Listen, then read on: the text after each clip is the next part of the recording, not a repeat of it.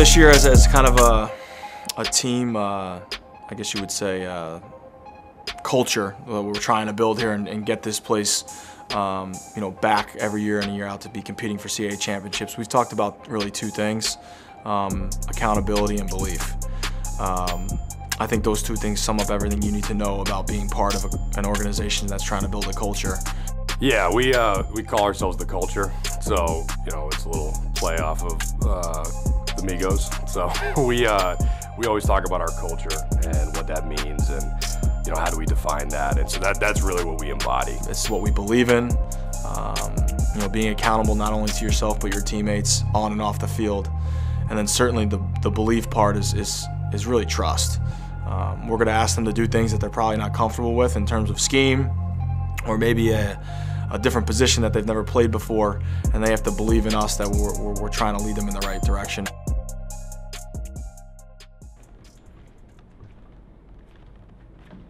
So, uh, Coach, uh, I guess we'll start. Uh, well, first of all, Drew, welcome. For those uh, not familiar with Drew Belcher, came here as a quarterback, played some time at QB, made the transition to uh, H-back tight end, officially a tight end now. Let's first talk about that a little bit. Kind of a, an interesting go from throwing it to, to catching it. Uh, how's that been for you? It's been going well. You know, I think this offseason was really big for me. Being able to, you know, kind of take a step back and just start learning the basics of tight end. You know, last year I kind of got into it. It was right away. It was game week and stuff. We started prepping for UNH and whatnot. So having an off season was huge for me, and uh, you know, able to put on a little bit of weight in the uh, weight room and stuff. And um, you know, now it's it's a lot easier now. Joe, I, I would assume it's not a move that just anybody could make. So you got to have confidence in a guy Yeah. uh, to to do something like that.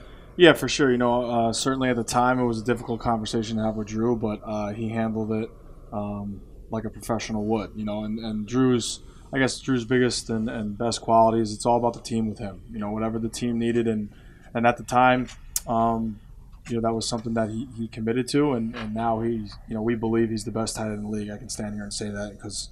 You know, I truly believe that, um, and I don't say that about a lot of guys in a lot of positions on our team. But uh, he's going to be a weapon for us. I think last year at UNH in his first game ever, he had like four catches for like 60 something yards. And um, we're going to do a lot of things to get him the ball. And certainly, um, just everything he does is all about the team. And everything he does is uh, he's the most coachable kid we have. He's the best leader we have.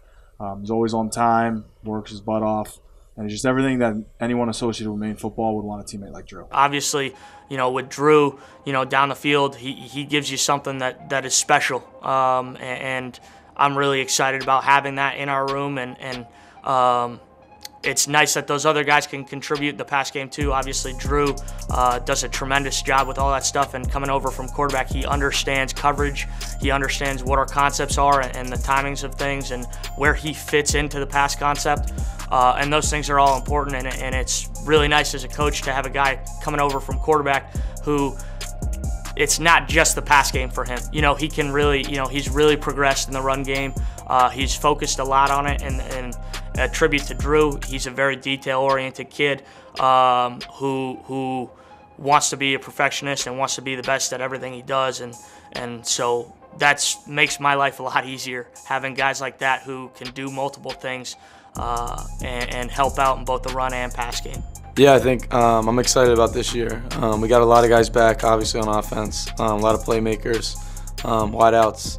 Um, got a new running back, which is exciting. Got a couple guys that are gonna get a lot of playing time, a lot of meaningful time. It's gonna contribute, um, and obviously the offensive line. We lost a couple people, but uh, we're really filling in the pieces, and we got some guys in there that I'm excited about. Um, you know, finishing four and six last year was tough, so there's only room for improvement there. I think both offense and defense have had great camps. Um, offensive made, has made some some pretty big strides uh, with the quarterback, receivers, young running backs stepping up. Um, the O line, you know, filling some shoes. It's going to be tough, but they've done a good job. And then defensively, you know, we got a number of guys returning. Um, you know, the cornerbacks, the, the safeties are looking good. The the D line is looking phenomenal. The linebackers are solid. So, you know, I, I think, you know, going to do a pretty good job filling the shoes. We have a lot of great great pieces, a lot of great guys returning from the year before. Um, a lot of experience and everything coming back. Um, one of the things that we need to work on is just being able to bring the same type of competitiveness every practice, every day. Sometimes we get lackadaisical. Sometimes we're not all the way, uh, you know, not focusing all the way. Yeah, I think the, the group, uh, going back to just the discipline, you know, our, our approach and, and to practice, to our individual um, techniques and, and, those type of things, we've really attacked those um, in a better way, and, you know, making those more important than we have in the past. So the guys that, you know, have been here, they, they've, they're really spending more time, you know, implementing the techniques that we talked about in the meeting rooms. We do in individual, you know, in individual periods now they're really applying that to the game situations that we put them in in practice. I love this team. I love this team a lot. I love the team last year too, though. But this year, I really love this team. You feel me? I, most of the people that are on this team, you know, I've been with them for the past two, year, two to three years since I've been here. So we all together, we all gelling. You know, I'm cool with everybody on this team. I love everybody on this team. You know, I got a good relationship with everybody. Everybody loves me, so it makes it easier to just go out there on the field and just play together as a family. Obviously, Manny Patterson speaks for itself. Now, he's a, a guy that's played a lot, started as a true freshman, and uh, he's developed a lot that way. And again, it goes back to that consistency, and that's what he learned to develop in his second year. He started to get his own confidence, his own idea of what the what he's going to expect. All right. So I coach a lot, but I don't coach robots. And he was able to really find his own niche in terms of what he had to do every single play, which built consistency. I'm trying to be All American, but like first team All American. You feel me? I'm going to get some picks. Feel me? Still keeping up with my PBUs, all that. Um, being a great leader for the young kids, that's also another goal of mine, you know, making sure that I'm somebody that the, that the youngins, like, they can look up to me going into the younger corners. Because I mean, for me, that's my biggest question mark is the other side of Manny Patterson. And I've been pleasantly surprised, man. The guys, if I look at spring ball um, and look at the where they came from, they must have put the work in in the summer because they came in preseason camp and already, you know, they're coached up. All right, because usually what I tell guys in the summer, I'm not around. So you got to be the guy continuing the progression and I seen that progression. I think the main key is for everybody to uh, have the same goal. If you uh, have the same goal in mind when they go when they go into the field, everybody on the, on the field, each player needs to be able to know that the guy to the right, the guy to the left has their back, no matter what. They had, they know what they're doing. They know their assignment. They're not trying to overcome or um, they're not trying to um, overproduce or do too much. And because when when uh, guys on the team start to do me me included, um, start to do too much and start uh, over trying to overcompensate for uh, some uh, for somebody else, that's when a big play happens. That's when they're not 100% focused. And so, um, as a team, uh, I think we just need just need to be able to just just be like no like just be able to be ready for that. To be honest, uh, I think we're gonna have a really good year this year. Definitely think we're gonna have a really good year this year. We have too much talent to to be 500. Way too much talent.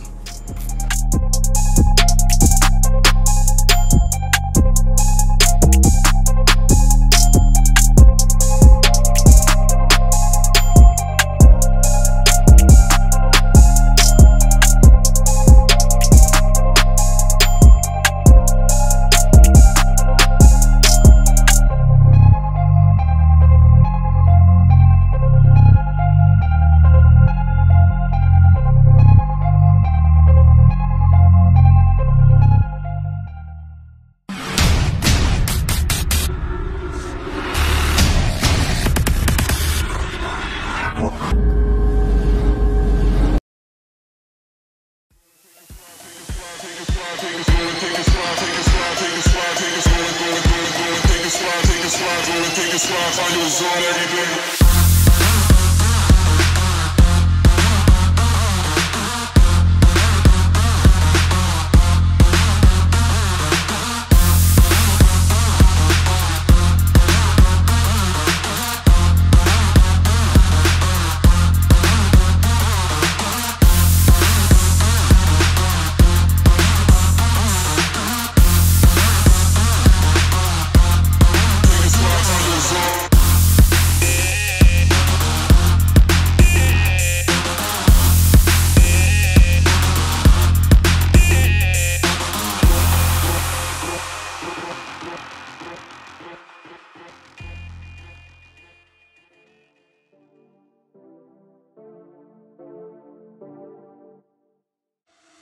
The UNH game means everything to me. I wanna, I've been here for what four years, still haven't seen the musket. Um, there's the coach has been here for uh, eight years, still hasn't seen the musket. We, we need to be able to bring that home. There's a lot of confidence throughout the, throughout the team. A lot of a lot of guys confident in their play, confident in the game plan, comp, uh, confident in just the team's overall um, ability to beat UNH. And so every single time that I walk into the locker room, I, I look at the poster that we that, that we had there with them holding the musket, and I just I'm just ready. It just makes me uh, makes me ready. Makes me uh, anticipate for uh, for UNH because I know we can beat them and I know we will beat them. We just need to be able to um, we just need to be able to think that think as a team and be able to just be disciplined and we will come out with a W. Last year wasn't how uh, we expected it to turn out, and you know, everybody's hungry for, for those wins to come. Um, and, beating UNH, you know, that's the first key to it all. Um, beating UNH, getting that musket, um, that's the first step to having a successful season and, and just kind of overcoming everything. I think the biggest key is, you know, overcoming those uh, those tight games in the fourth quarter. You know, the past couple years we haven't been the greatest in those situations. So just taking that next step as a team and maturing and, and learning from the past and and just uh, edging out those teams in the fourth quarter, you know, will be successful. It means everything. We haven't beaten them in eight years. Um, it's the first game of the season. Um, getting that musket will definitely set the, the, year off on the right foot. Um, so it means everything. It's the biggest game that we're gonna play in thus far. Um, you know, that's it. It's. Yeah, I think it's something you hear about even when you're not a part of this. You know, when you're in the New England area, you hear about this game from far away, and and it's you get here and it's like, wow, this is a really big deal. And whether it's home, whether it's away, it's, it's always going to bring a ton of fans. We're always going to be excited, ready to go for it. And, and it's, it's a big battle. And, and every year, doesn't matter who finishes higher or lower, it's always going to be close and it's going to be a fourth quarter battle.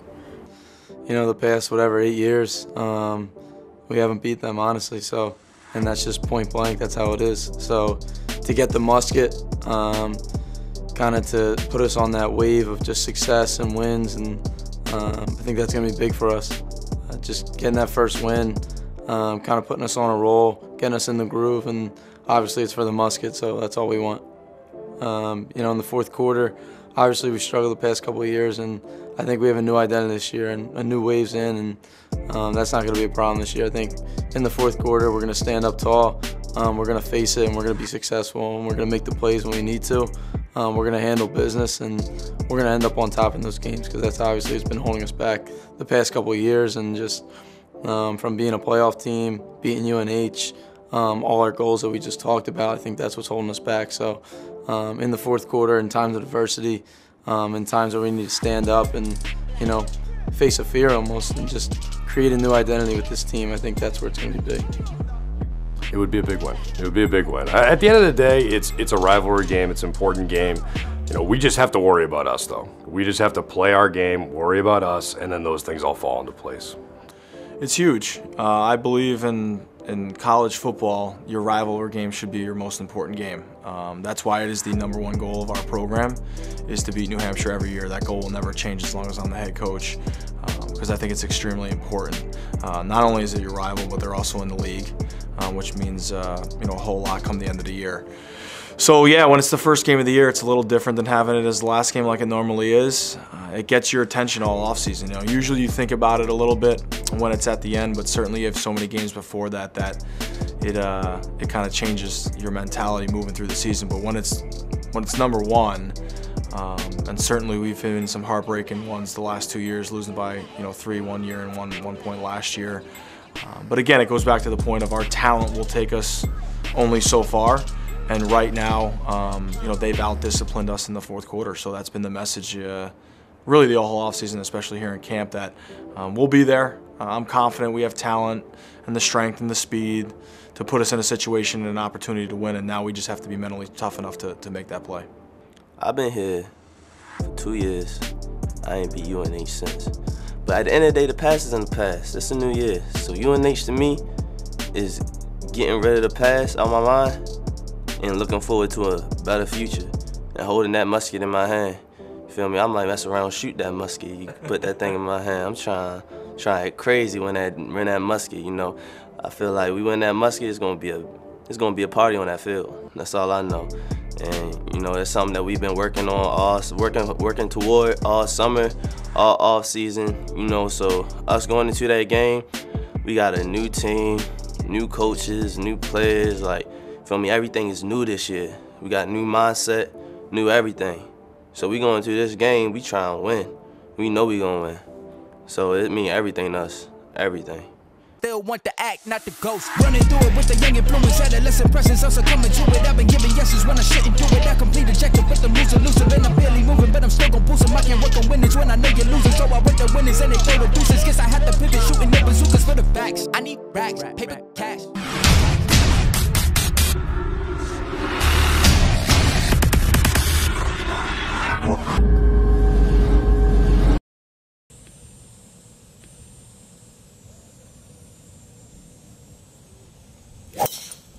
Anytime you can bring uh, a bunch of people together that all are really passionate about the same cause, it makes for a pretty fun day, right? And you throw some golf on top of that, uh, some good golf, some bad golf. I've seen a little bit of both today.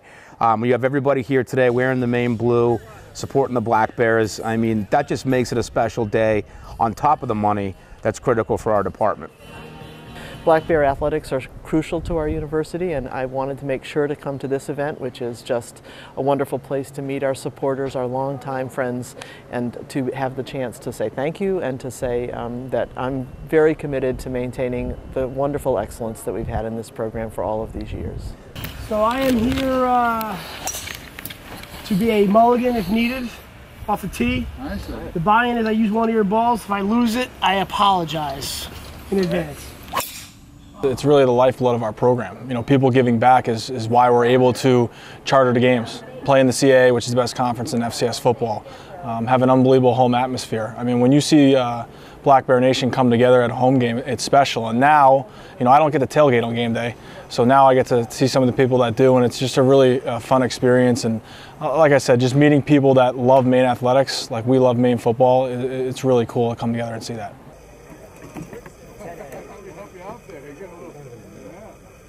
I know that we cannot run Black Bear Athletics the way it is run. We can't treat our student athletes the way we want to and in the way we do treat them without the support of the people that are here today. And I'm not talking about just the staff and the group that are pulling this together. I'm, we have our major benefactors, our major donor, our major fans.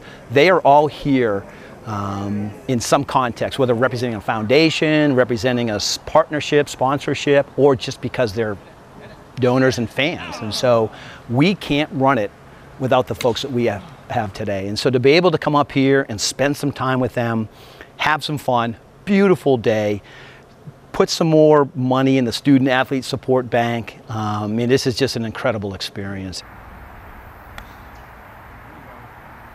This is a great day on the golf course for sure. And uh, you know, we want to thank those people who have been supportive. We want to give them an opportunity to be part and feel part of Maine athletics. And hopefully that they, they feel that, that this does this. One of our main objectives is to make everybody feel welcome, everybody feel appreciated, and everybody to have a great experience today. And hopefully uh, through our work, we've been able to do that.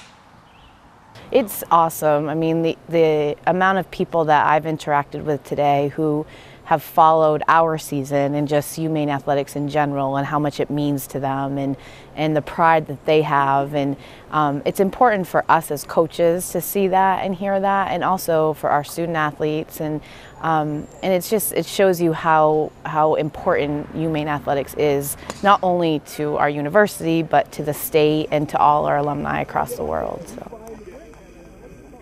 I think honestly, um, the alums are the people who believe the most in the program because we've gone through it and I think it's important to keep these people a part of it because it keeps us close knit and it's always great to give back to where we all graduated from. Shooting about 147 from the men's. 147?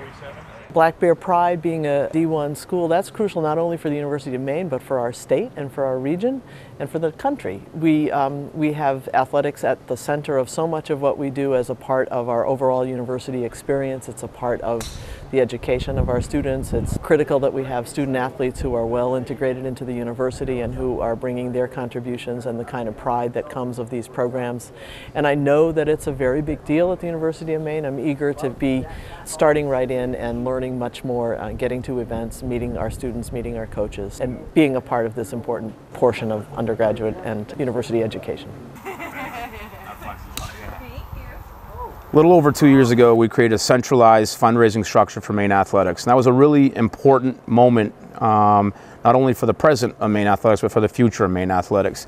Uh, we created a brand, the Alfond Fund, uh, which was supported by a three-year, $1.5 million grant by the Harold Alfond Foundation that supports all of our programs. It continued, you know, the tradition of our football challenge, which is a quarter of a million dollar matching fund uh, gift every year um, and added a $250,000 unrestricted component as well. Um, this has really given us a well-branded, recognizable um, annual fund to support our athletic programs. So this year, um, thanks in part to over 2,700 donors to Maine Athletics, um, we, have raised more money than we have in, in many, many, many years. So next year, we're hoping to jack that up. We'd love to see 3,000 donors this year. Um, we'd love to keep pushing the envelope and raising more and more for our programs and just continue to put our student athletes and our staff and our coaches in a position to be successful through our fundraising efforts.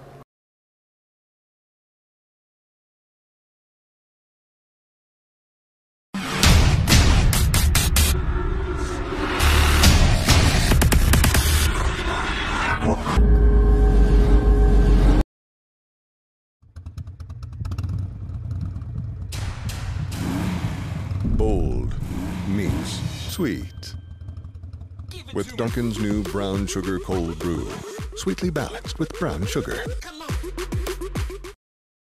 We've been doing business with Hammond Lumber for about 15 years. The most important thing Hammond Lumber gives us is customer service. We have a lot of jobs going, typically four to six at one time, and we need truck deliveries on each of those once a day. So we expect multiple trucks which Hammond Lumber delivers on a regular basis for us. The things that are important to me are being able to trust my sales rep, trust the pricing, trust the delivery, and overall trust the service that Hammond Lumber provides us.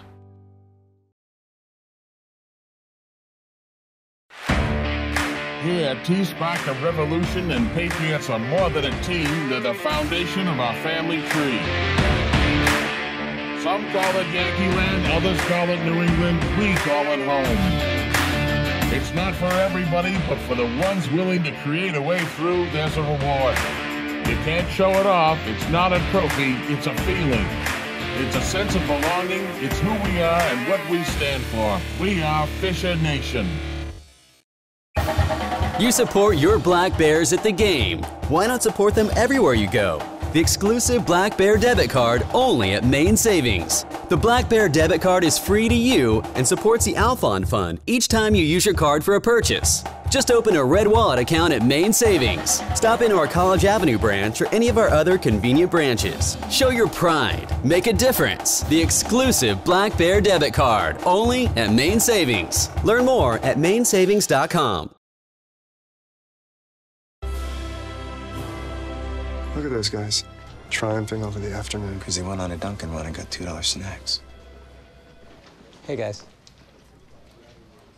Hey. The Dunkin' Run menu. Delicious $2 afternoon snacks.